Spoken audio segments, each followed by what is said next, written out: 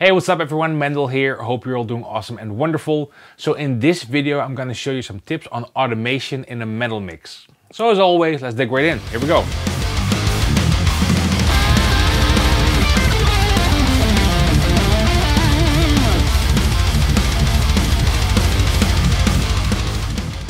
Alright, so here we are in Cubase. This is a short metal track I wrote. And let's first listen to the track and then we'll dive into the automation. So here we go.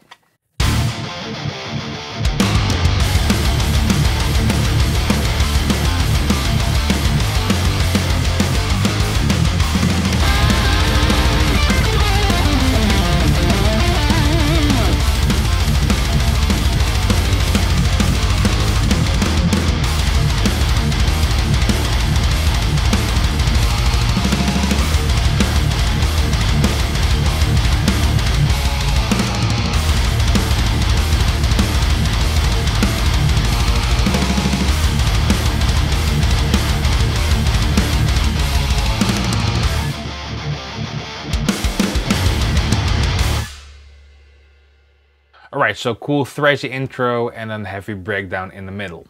Now, one of the things I do most of the time in mixes automation wise is actually on the kick drums. So over here we have that fast 16 kick part. I'll just play it one more time.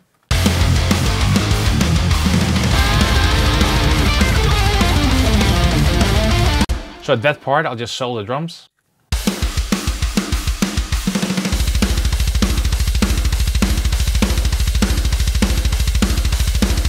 Now, when those kicks become 16s, they add a lot of energy to the mix, which is cool, but it could be a bit too much energy, especially when after it, they stop doing the 16s. So what I like to do when I have fast 16 kicks or either fast kick patterns or whatever, just slightly dip the kick drum, like either one decibel or maximum two. So I just select the range selection tool and just around here, let's say, or just a bit further, let's see around here perhaps, and just dip it. Let's see, let's just try one decibel.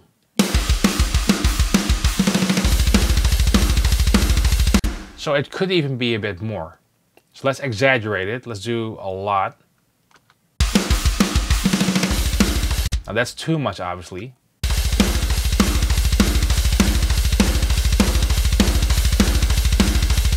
So that sounds about right.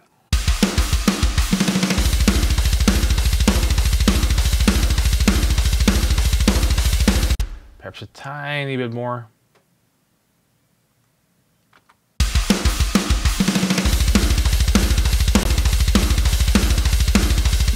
Now that to me sounds nice even out, which is almost one and a half dB.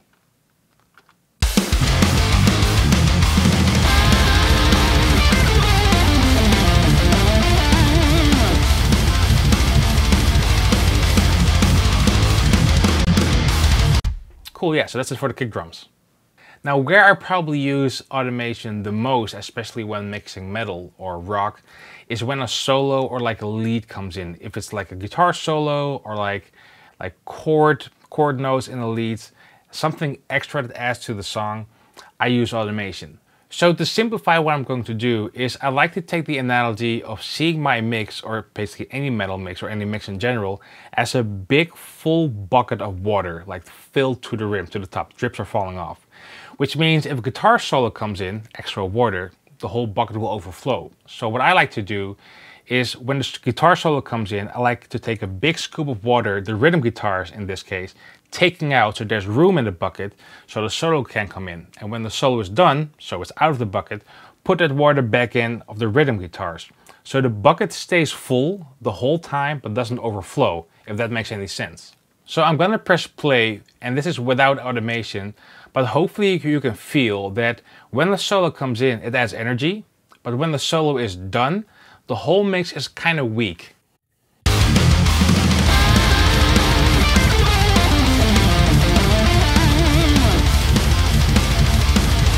Like I definitely feel when a solo is done, I'm like, okay, there's something missing. So what I like to do is just select that range when the solo is playing and just take it a bit down. Let's just try this, how it feels. That's the most important thing to me.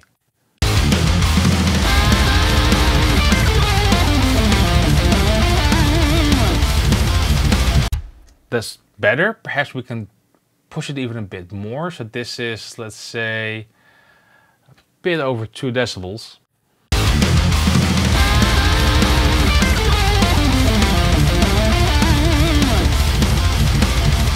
So that's a bit too much, but I think around here is the sweet spot.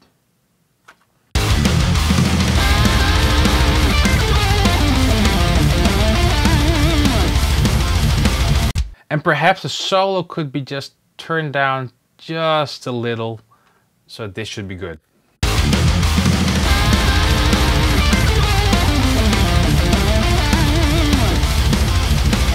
Yeah, so I can definitely feel now that when the solo is done, the guitars are picking back up like the energy of the song, but it's not really audible because it's happening during that solo. So that's one cool trick you can do to keep your mix even down the song. So the last thing I want to show you is to give and break down a bit more energy when it kicks in. And it's so simple, but it works every time. So we have the breakdown starting around here.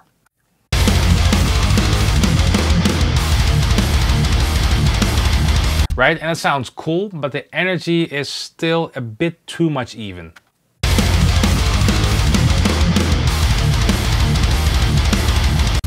And in this case, I don't want it even like I did with the solos. I want it to have like when the whole breakdown kicks in, it slams a bit more.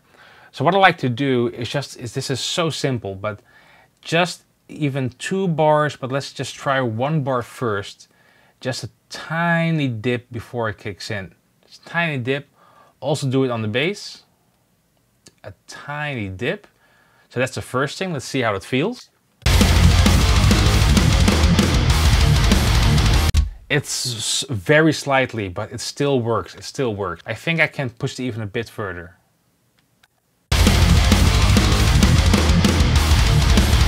So that's cool. Yeah, I really like that. One more check.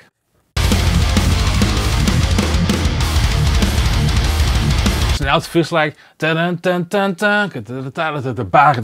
and then it whole uh, the whole slam thing uh, starts in.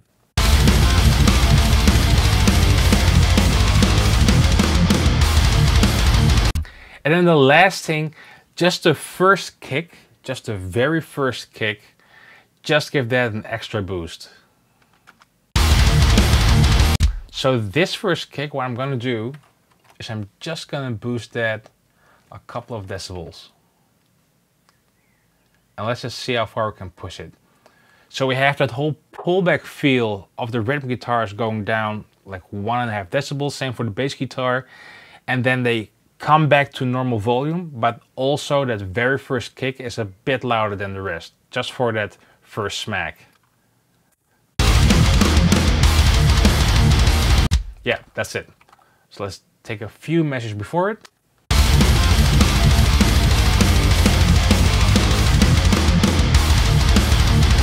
Okay, it's a bit too much, but just that should be good. So just that first kick, it's like hitting three decibels extra.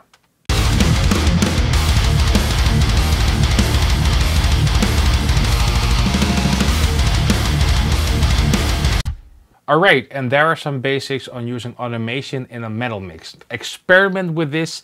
You can do this on anything you want. Like for example, the thing I showed you on the solo guitars, you can also try it when, for example, you have a rhythm going, but also clean guitars come in.